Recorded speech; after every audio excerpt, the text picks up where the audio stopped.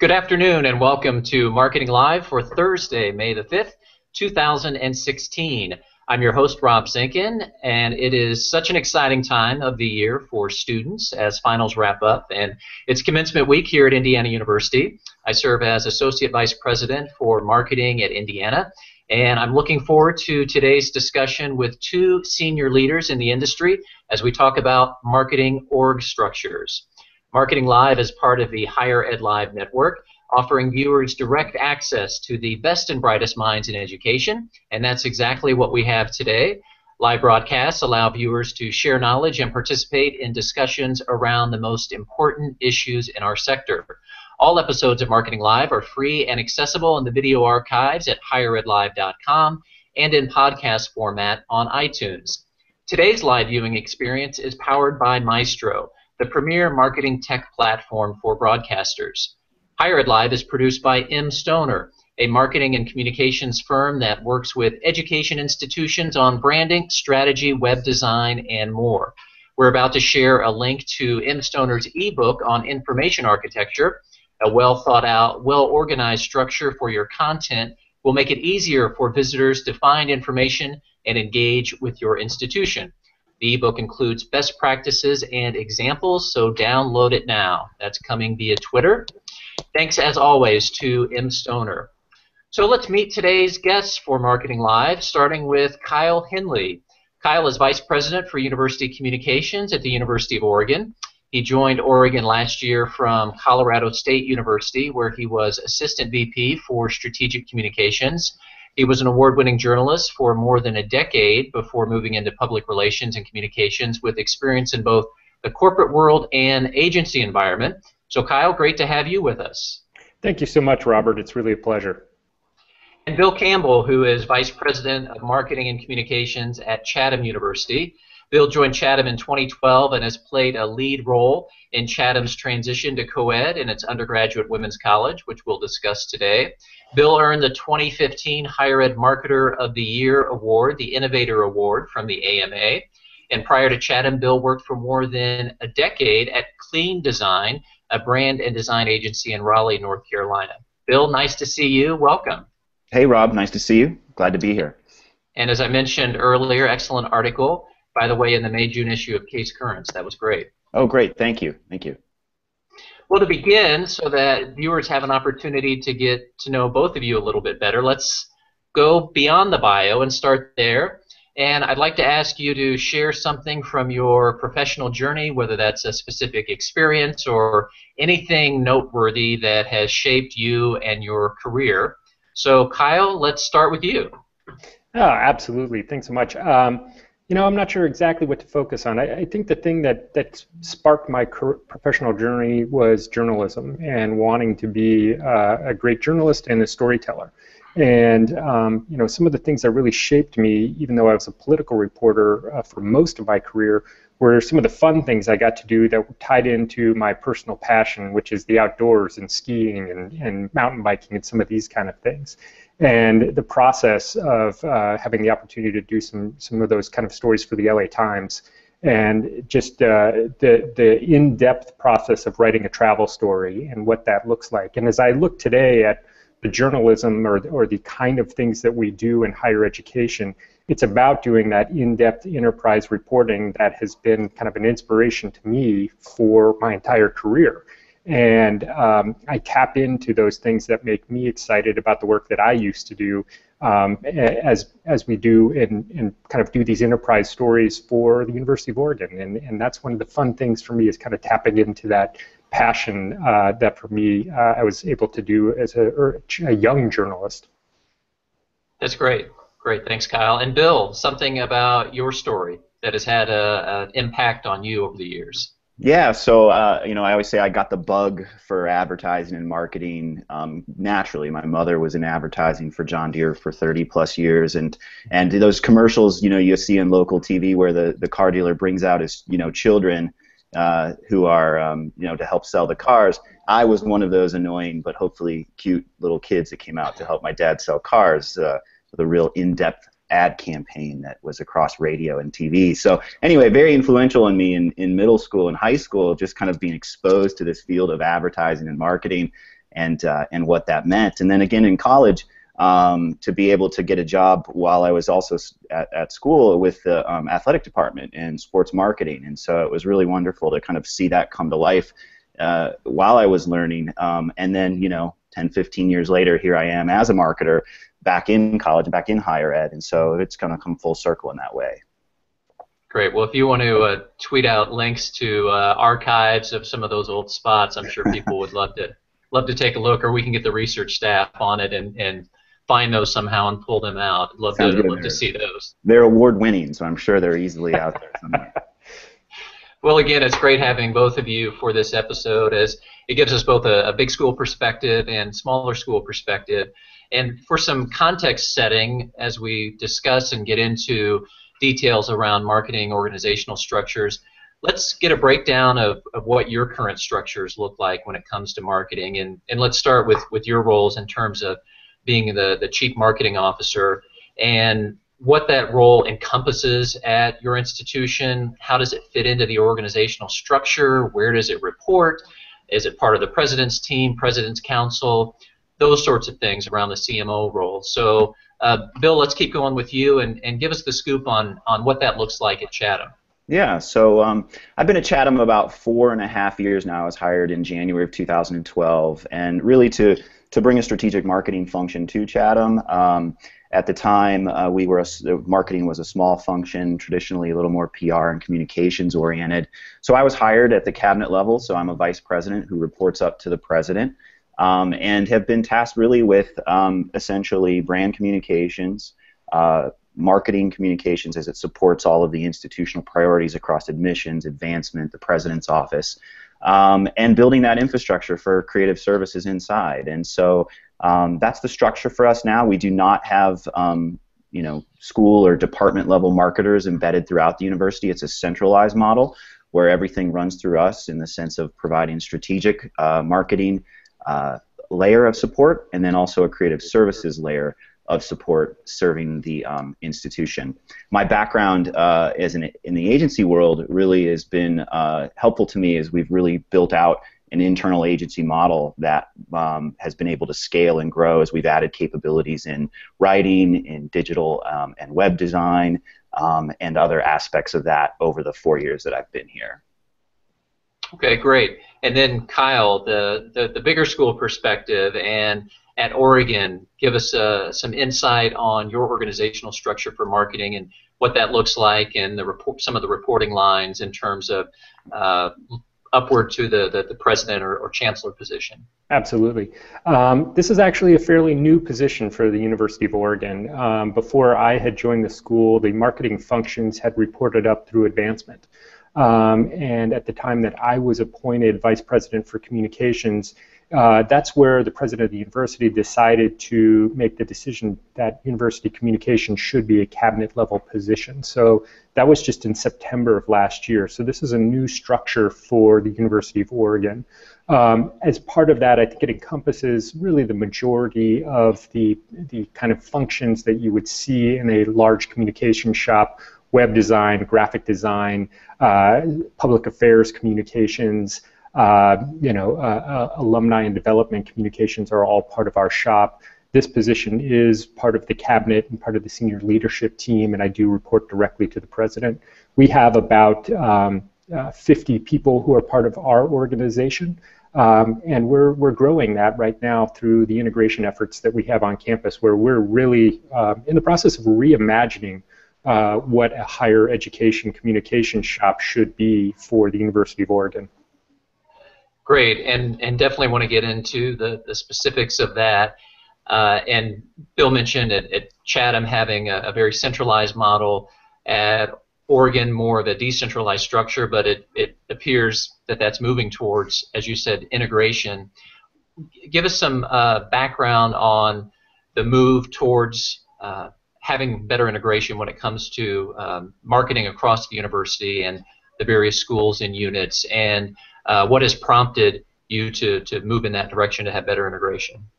I think there's a number of things. The University of Oregon has an incredibly strong national brand. In some cases, we have this incredibly strong national brand in spite of ourselves.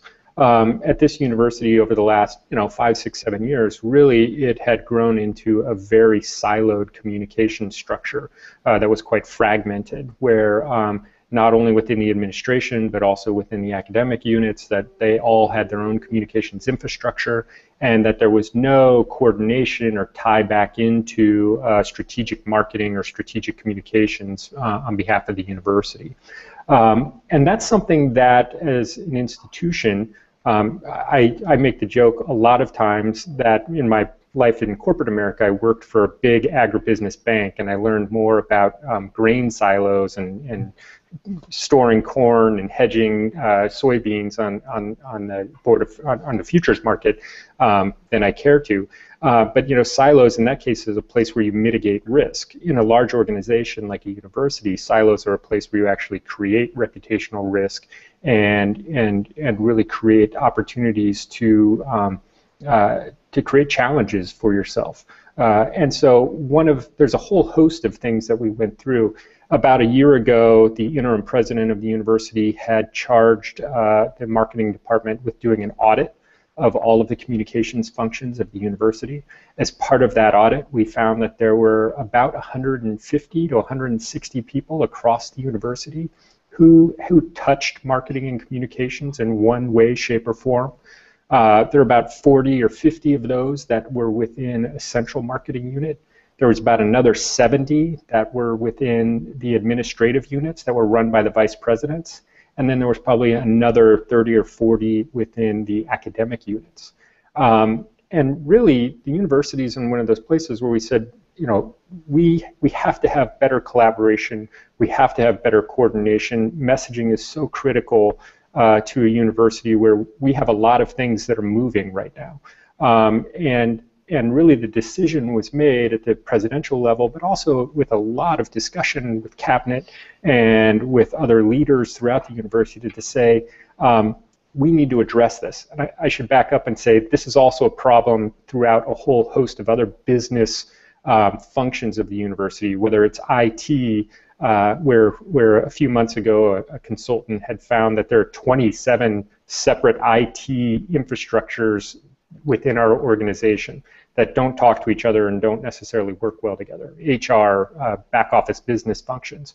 So really what we kind of said was that university communications is one of the places where we're going to look at consolidating to improve consistency of message and also to find uh, some efficiency and to, to make sure that we've got better coordination uh, than we had in the past.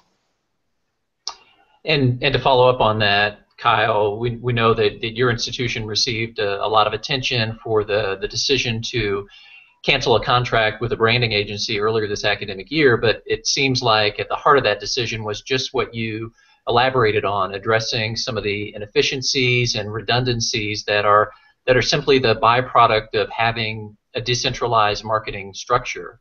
So trying to move towards a more centralized operation at Oregon what what does that process even look like? I would imagine it's a it's a very significant shift. So you and your team have a lot to work through in terms of planning and implementing and leading this change. Take us through this this change process and, and what are the things that you're working on and how are you getting some of those unit-based or academic unit-based uh, marketers on board with this and how is the process going? Yeah, absolutely. Let me first just talk about the branding uh, company decision. I, I, think a lot of institutions make decisions about whether they're going to work with an outside agency. Um, in this case, we had a good relationship with ours, and, and we had already done a lot of the hard work in terms of the discovery and really um, implementation of a strong visual brand standards for the university and really the, the decision to do that was a was a, a, financial and business decision based on availability of funds and resources. Um, and um, I don't think from the outside world perspective uh, that there's going to be a lot of difference in terms of the work that we're doing from a branding and marketing a visual identity um, kind of perspective um, we're going to continue that work. It's going to continue to flow through our, our advertising, our marketing, and the look and feel that we have throughout the university.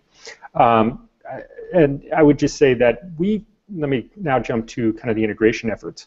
We launched these in January, and we really set that we were going to have a six month transition period where we would do analysis and work closely. And we decided that we were only going to start with the administrative units. So that would be only the vice presidents, vice presidential units that reported up to the president. Um, and that we were not going to, to look at an integration model that included the academic units. Um, and that really covered about um, 70 people that we had identified.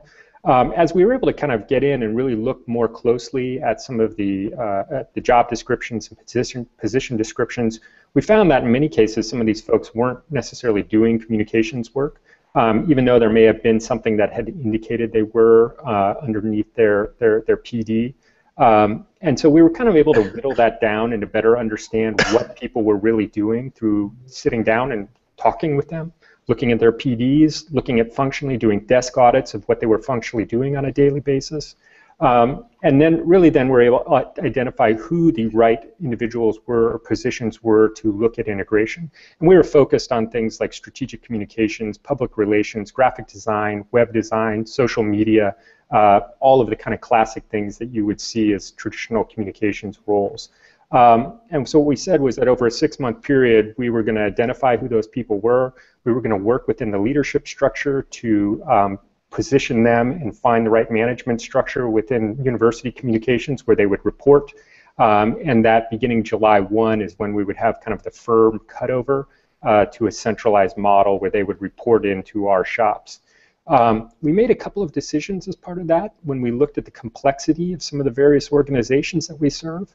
Um, there were some clear places where it made sense just to move them right into our shop, and then there were some places where the special, uh, kind of the, the specialized nature of the work that's being done um, merited maybe a little bit different approach. So if you look at enrollment management or student life, in both of those cases, they have kind of fairly large, complex marketing arms underneath them.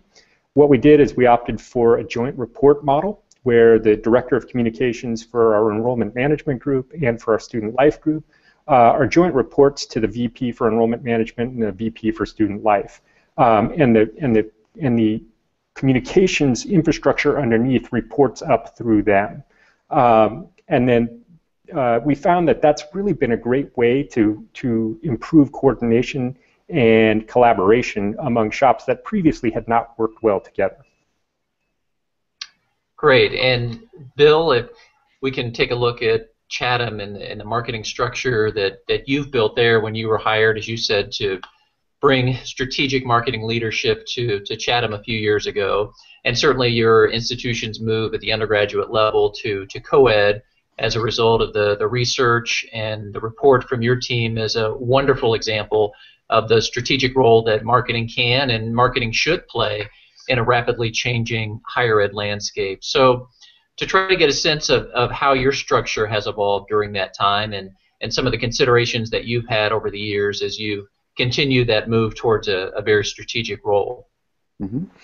Yeah, so you know, I think one of the things that's interesting is is the scale that Kyle is talking about with a centralized and elements of decentralization in their model. You know, we experience a lot of that just on a much smaller scale, and and as we as we grow, and we've gone from two people in marketing when I was, I was hired to seven now in in four years.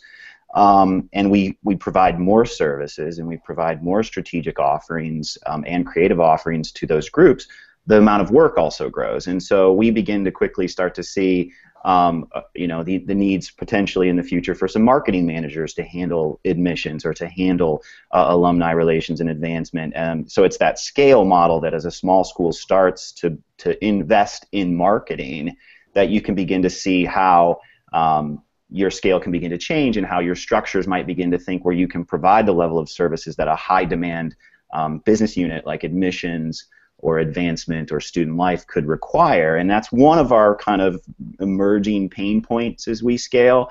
Um, ultimately, we need you know resources to support the level of work um, that sophisticated marketing requires. Um, you know, for our perspective, again, the reason for my hire and what we're doing is the institution was very keenly aware and wanting to know how we were spending our marketing dollars, why we were spending our marketing dollars, and what the results of spending those marketing dollars were.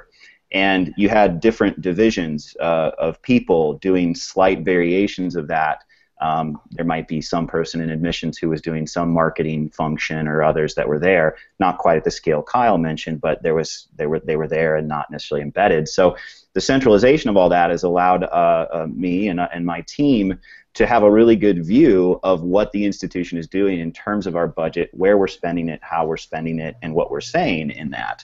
And um, so that role is really what began to lead to some of the strategic decision making that we've been able to offer for years and years and years, the institution was doing campaign X, campaign Y, campaign Z with different messaging and getting similar results or not really knowing what the results of those efforts were um, overall for our um, campaign. And so ultimately, um, you know, one of the things that we began to look at was Chatham as a whole is was founded as an undergraduate women's college with 500 students. Over the last two decades, it's scaled to about 2,200 students, of which two thirds of those are graduate programs. And the undergraduate women's college was always an important and critical part of us, but um, but necessarily was declining in enrollment. So a strategic marketing approach allowed me at a time when uh, the institution was beginning to really look at education as a whole, undergraduate and graduate, and where we go as a brand moving forward. That before I could get too far into what our brand stands for, we had these very siloed almost product marketing things. We had a brand that had to speak to an undergraduate women's college experience, a traditional graduate school experience with a very heavy emphasis on health sciences, and then an online emerging online experience and an emerging sustainability and environmental commitment that Chatham has. So it was very fractured. And what we began to find in looking at market research and looking at the data that was showing us in our underperforming product marketing units, like like the undergraduate women's college, that over time um, less and less you know young women were interested in in considering it so you weren't even in the early awareness or consideration set um, and at the same time we also saw that the sector was experiencing big decline and our ability to begin to centralize allowed me to see that we were essentially spending three times the amount on marketing for the undergraduate women's college, which inherently undergraduate um, enrollment marketing can be more expensive than graduate anyway but you know, nearly two to three times more over three years for significantly declining results. And what happened was we began to say, this is not a problem of marketing different, of marketing harder, or potentially throwing more money behind the marketing. We had to fundamentally look at the market and consider some some very heavy brand and product and mission changes to the institution if we were going to be effective in our marketing down the line. So that's the research, that's the report that I was able to put together, and that being a cabinet level position who was hired to bring this in was able to take to the president, which was then able to take to the board, and began a conversation and a lot of additional research around the institution um, to move this conversation forward. Which ultimately, after a very difficult but you know um, clear in some ways decision at the end of the day, to make this. And you know the results of it in the first year, we went from you know 600 applications give or take i don't know the exact numbers right now off the top of my head but you know going to 1200 applications to go from a class of 147 students to deposited students of 300 in the first year and again that is kind of where the, the, the impact of strategic marketing can help um, and we did that by spending the exact same or even less than we spent in the previous years when we were recruiting for co-ed yeah kudos to you and your team for your work it's such a such a great story and uh, just a quick reminder to, to viewers, if you do have a question or comment for Kyle or Bill, feel free to send it via Twitter and use the Higher Ed Live hashtag. And Bill, you mentioned some of the emerging pain points as you experience growth, and I'm interested to hear from both of you beyond what you've already articulated. Are there other uh, challenges or, or minuses to your current structure? Not even necessarily minuses, but opportunity areas. And just overall, as you look at your structure, and I'm sure it's something that you you're constantly thinking about and, and it's constantly evolving as you look to enhance. But are there some other pluses and minuses to the way that you're organized right now? I'll just jump in, and I think Bill alluded to it, is that as you are growing, you have to be able to expand the services that you're providing to your clients on campus.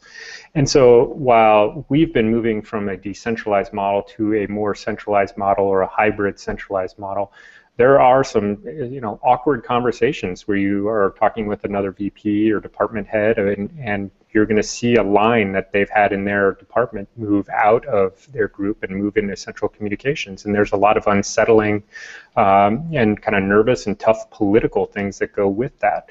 Um, and what we've tried to position this as and, and, and, and demonstrated in our hiring priorities uh, is that, you know, in the past, it was funny, I would sit down with some of the marketers on campus and I would talk to them about the work that they do. And they would oftentimes go in and they'd talk with a dean or a VP or somebody and, they, and they'd say, you need a, I need a new brochure, I need a new website. And then this one person would go sit in an office by themselves and try and figure out how they were going to do that um, without any support and also without kind of the, the grounding and strategy that I, we all know is so critical. Um, so part of the value proposition that I've tried to make to folks as we move through this integration process is that um, through this, we will be able to provide you with more support than you have had in the past. Um, rather than being a, one, a shop of one or two or three, you're a shop of 70 or 80 and you have both the strategic expertise to help you really define what your priorities and goals are, and the expertise in tactical execution so that you do not have to rely on one person to do that. You can go work with our web team. Uh, you can go work with our graphic design team. You can work with uh, our photographers, photographers and videographers. Um, and so I've tried to put a premium on hiring those positions that are going to be a service to um, to our units across campus. So uh, this university, when I first arrived, you know, we're a, we're a 24,000 students, but we had one video person for the entire university. Uh, you know, my first hire was to hire another one, um, and I've already got both of them booked. I could hire three more. Um, and I, you know, I think it's it's trying to demonstrate to campus and your clients and your partners on campus that you are putting your resources towards services that are going to benefit them and show uh, and, and deliver on those results. Um, and that's the way I've tried to frame it uh, as we've moved through this process. As we talk about these questions, I will mention that Simpson Scarborough, the Chronicle, and CASE are partnering for a comprehensive study of higher ed marketing, and data collection for that has just begun. Uh, this year's study will build on the 2014 research to track our industry's progress and also address some new questions regarding staffing and new marketing trends.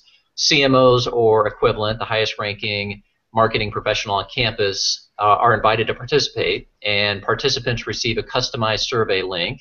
And I filled mine out on Friday, so if you have not received one, we've tweeted out a link with details on how to get one.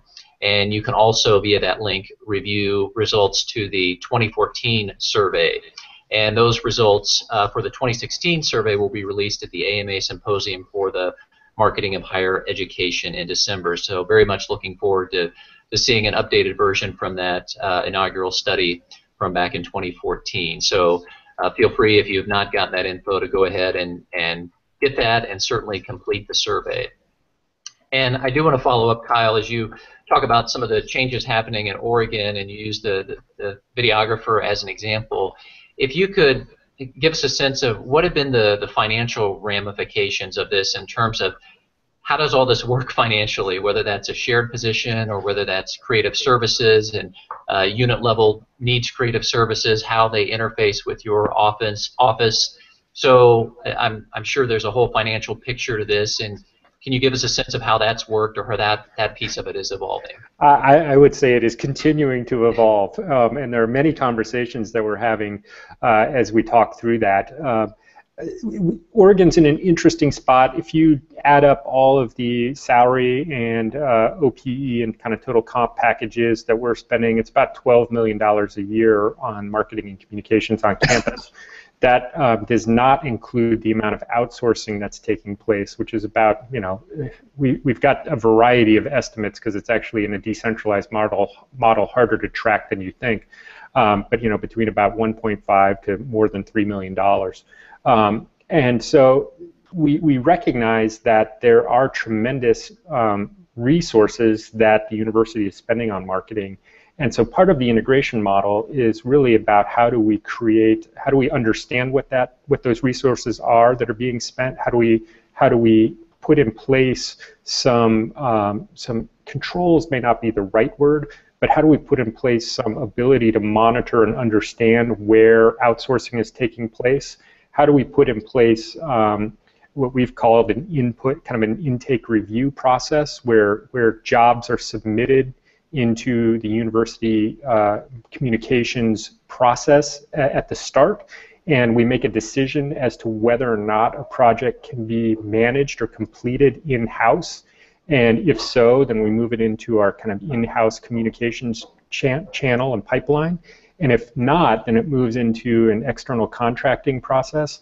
I, I don't know about other institutions, but I, I, think we all know that as soon as you move things off to contracting, it can take long a long time, and you know there's headaches and bureaucracy that go with that.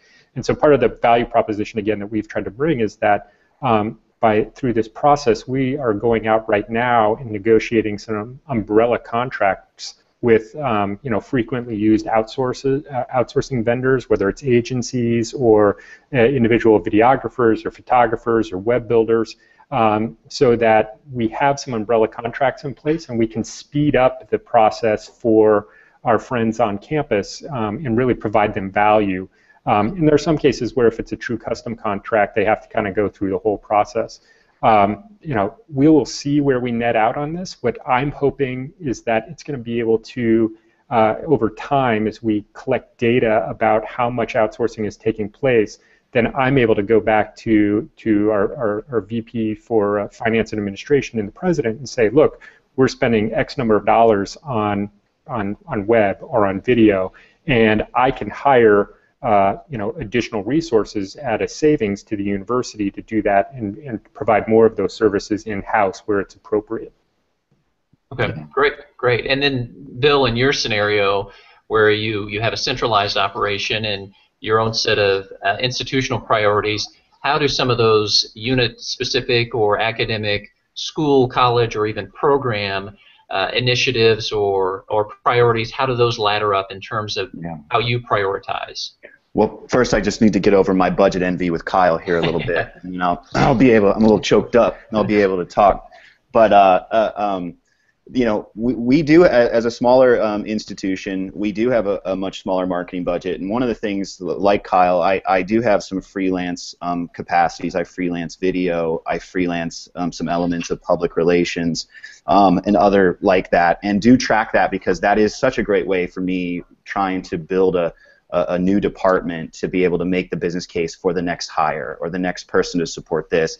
We've instituted, um, you know, job trafficking systems to be able to track and know by client how many we're doing. So each year in the budget cycle, I can go in and say, hey, listen, you know, we just implemented a CRM, and you know that created, you know, 150 new projects that have to be done by my group in order to support admissions. And so that's a very critical component of what we do um, overall. Uh, so it's again, it's very sim- interesting to hear Kyle speak with the things he's encountering at a much larger scale, but that we're feeling and doing um, at, at, a smaller scale too. So while different, we have many of the same issues and pain points as higher ed markers to deal with. Um, the other thing that I'll, I'll just say too is is you know with with a limited budget. So you know if we have about two million dollars total marketing budget to spend, it's very important for us to make sure that we're spending that doll- those dollars effectively and in, in programs that can support it. Um, you know, we do have a brand marketing layer, but a lot of what we do is product marketing. So how do we support undergraduate enrollment or graduate enrollment at the program level? And so we spend a lot of time before we even get into campaigns um, trying to look at which markets, which programs are underperforming in the market. We do significant IPEDS analysis of degrees conferred to, to track median to see if we're performing at or above the median in our states for programs. So it's very important to us that I'm able to to say to a program director or to the president or others in the president's council that you know these are the programs that have potential. This is where we should be spending our marketing dollars and let's go forward. And unfortunately there are losers in that. And so there are hard conversations where you may have a program that's just underperforming. You don't have the resources and people the resources and money to support it or the market is just saying you know what this is a program that you know the institution has to make some very hard choices about and perhaps consider can we grow it, can we not, and go forward. So um, you know that can be a challenge for a small institutional um, institution like ours, where you have to have those conversations and present the data to move forward. Because everybody will come to you and say, "I just need a brochure, I just need a new web page, and that's going to fix everything." And you know it's much deeper than that, as we know. Yeah, absolutely. Well, I mentioned the 2014 study by the, the Chronicle and Simpson Scarborough and those results show that approximately half of chief marketing officers report directly to the institution's president or chancellor, and that nearly 60% serve on the president's cabinet or leadership team. And historically, these positions might have reported up through advancement, as Kyle indicated, or through admissions, and you both hold VP level roles for communications and marketing. So I want to get in a little bit deeper in how you interact with those two functions, and I'll start, Kyle, with you, especially since your unit had reported up through advancement. What is the, the relationship with advancement at Oregon now, and how do you work with that unit? It's actually one of the strongest relationships that we have on campus. Um, we, when we went through the integration process, uh, the vice president for advancement, uh, Mike Andreasen, who's just a, a, class act and one of the best, um, you know, he really said, look, let's embrace integration. Let's look at how we can do things better within advancement. How can we improve that? The service that we provide to alumni, to donors, and to kind of the outside world um, in an integrated model. So one of the early moves that we made here was to integrate uh, communicators from the Alumni Association, from our development communications group, and then also I put uh, in that group our alumni magazine, pardon me, Oregon Quarterly, um, which uh, goes out to about a, you know almost 200,000 people. So really, what we've kind of done is align that entire vertical from from kind of that that that day-to-day touch of the alumni association, which is sending out stories and emails about events uh, all over the country tied to the Ducks and. Uh, and, and connecting them to other ducks throughout the, the country, uh, all the way up through our, our high touch, high gloss, um, you know, uh, most quality publication that we do. Um, and then we're also in the middle of that, you know, providing support for donor uh, for donor packets and, and proposals and some of those kind of things as well. But doing it in an integrated model, and I think that's been incredibly um, powerful. And I think we've seen a lot of success with that. And that's one of the places that when I look for kind of that um, that test or to show folks on campus a place where it's working. That's that's one of the, the kind of the case studies I point them to. Um, so that, that's been one of the really good good good situations for us. Um, and and uh, yeah, that, that's it's been it's, it's worked well. And speaking of advancement, it, it seems like for whatever reason there's a greater likelihood that advancement is structured in a more centralized fashion with unit level development officers uh, reporting centrally than than marketing is, and that's that's just my informal assessment when I think of some of our peer institutions uh, across the Big Ten. And I've always wondered why we don't look at marketing in more of a parallel fashion. That you know you could have the same institution, but the development operation is more centralized than the than the marketing operation is. I would just note that, that as we, we are looking at kind of long term what the next steps are for, for integration, particularly as it relates to the academic units, we haven't made any decisions about that. There's a lot of different paths we can go down. Um, we're doing a lot of strategic communications work where we sit down with individual colleges and, and do the assessment of their audience and their business needs, and then also look at, at what they're doing from a marketing uh, communications perspective and and work with them on that. The other and with that we're building MOUs that are driving kind of our relationship with those colleges and units. Um, you know, the other model, we have that with an advancement here, is really this kind of joint report where the director of, of development for a college has a direct appointment both to the to the dean and to the VP for advancement. And that would be an easy model for us to move into from a communication standpoint at the University of Oregon because everybody gets it. We already have that model on the advancement side of the house. Um, so, you know, those are some of the things we're evaluating as we look at whether or not we're going to move forward. And that is a if um, with with integration from a communication standpoint. And you know, that's exactly the kind of model that I think would make sense on some levels. Um, and we're weighing that right now. Okay. And Bill, you once held the interim vice president for enrollment management position at Chatham at one time, so I'm sure that provided great insight into your role now and has uh, better enabled you to help break down silos across different different units. So interested to hear uh, from your standpoint the the relationship which you've touched on some on the enrollment management side, but also the advancement side.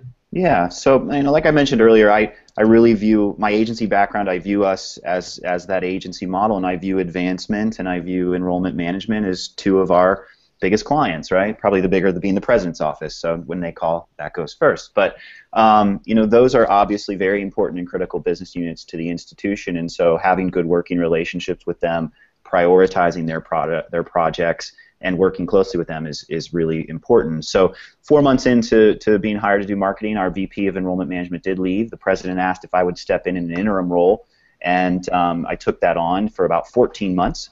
And it was really great. It was amazing. We were able to uh, align our marketing and enrollment um, efforts more closely together.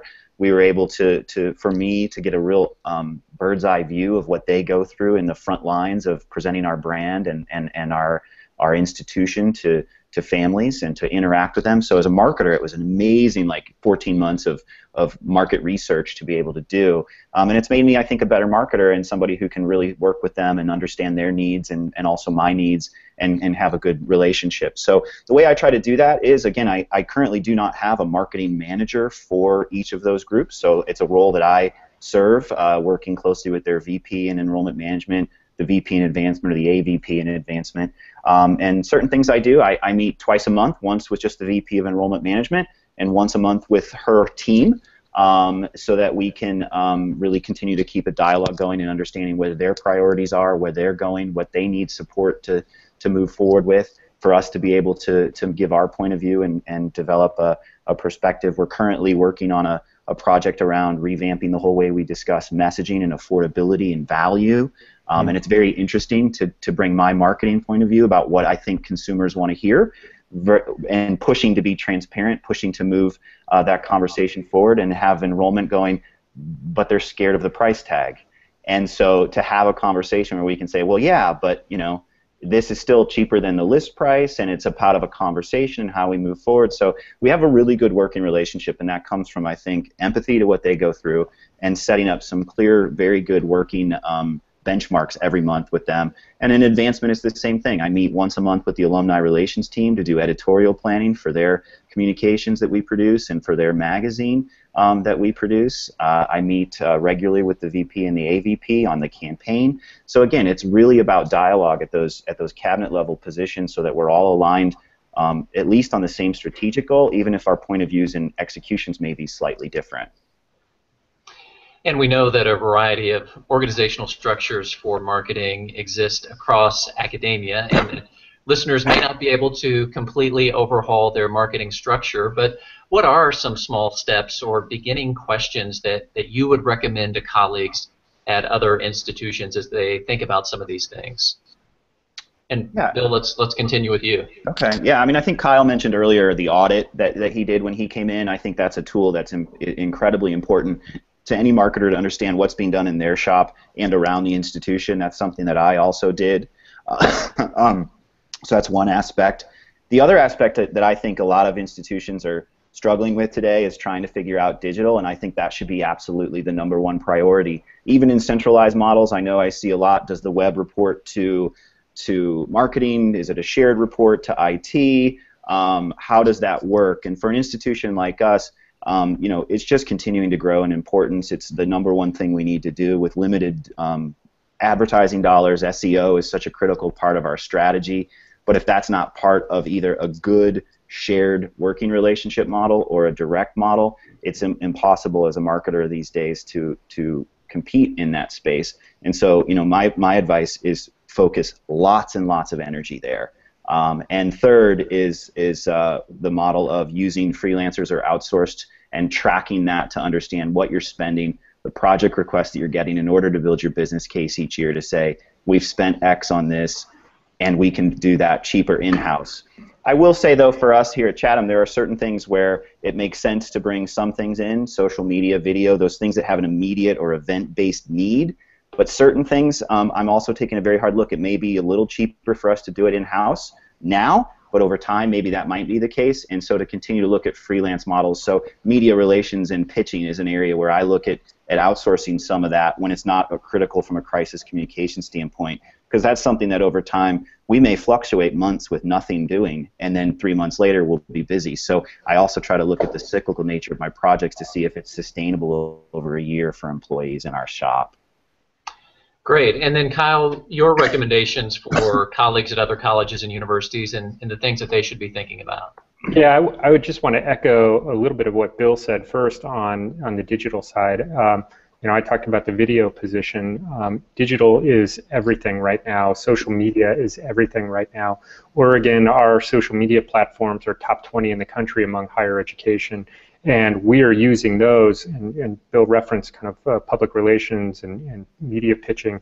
We haven't done a press release since I arrived at the university because we're using our own social channels to drive all this out and to push it out on our own digital platform um, you know, which is more powerful um, than, than a lot of the traditional media that is in the region or even the state that uh, we have here.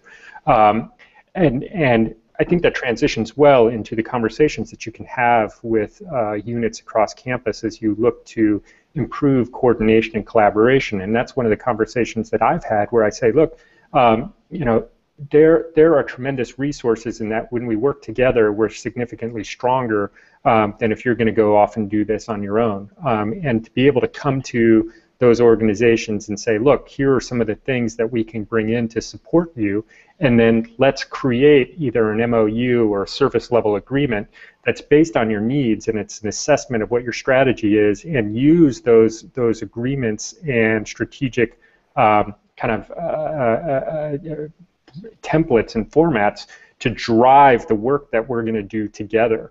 Um, and, and you don't have to move through integration to do that.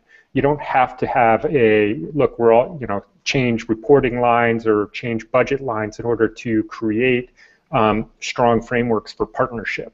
Um, you can do that now within a good sized organization um, and, and you can really sell the benefits uh, of working together if you've if you've got kind of the right mindset for it.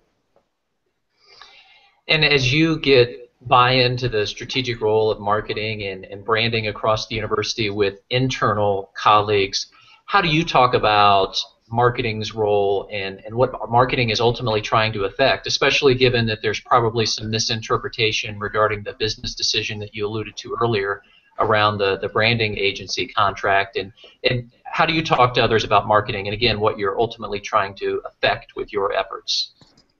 Absolutely. I mean we kind of have a mission statement that, that university communications is about positioning and telling the stories of the university or telling the stories of the university that position it to succeed and thrive.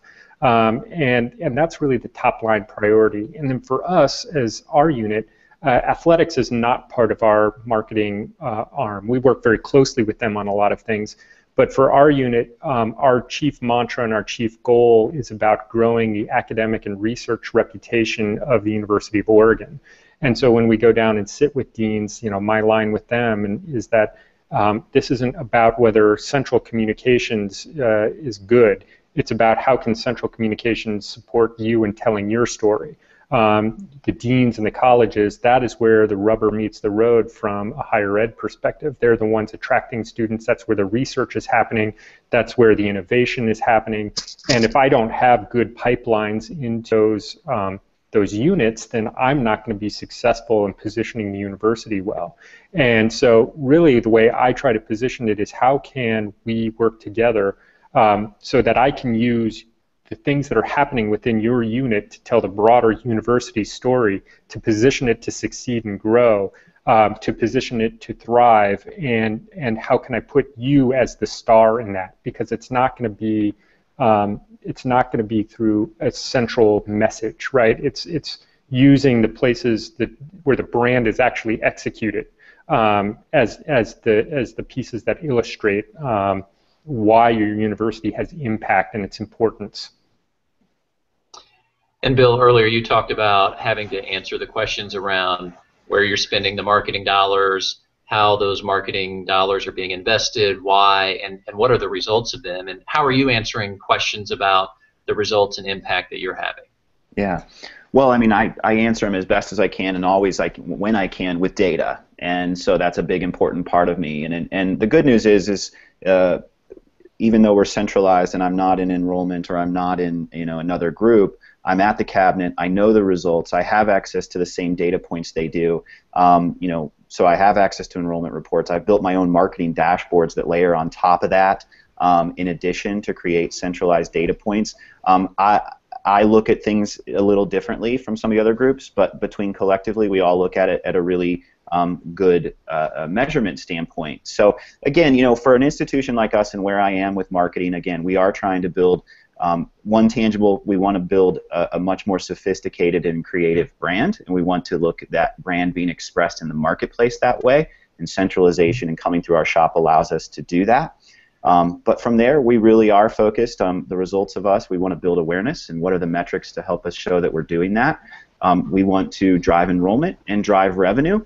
Um, and then we want to look at where we are in terms of our fundraising goals. So my approach for marketing and my metrics are very much driven um, on some of those bottom line revenue goals in the sense of being able to say we spent X, but our results earned Y in revenue for the institution. And I think in higher ed, um, you'll often hear it's it's it's there's a mixed bag of emotions in terms of talking about revenue or or products and different things like that. But I think as a marketer, it's important for us to have those conversations um, because more revenue to an institution, uh, a nonprofit private institution like Chatham, means more revenue back into the institution, into program development, into faculty development.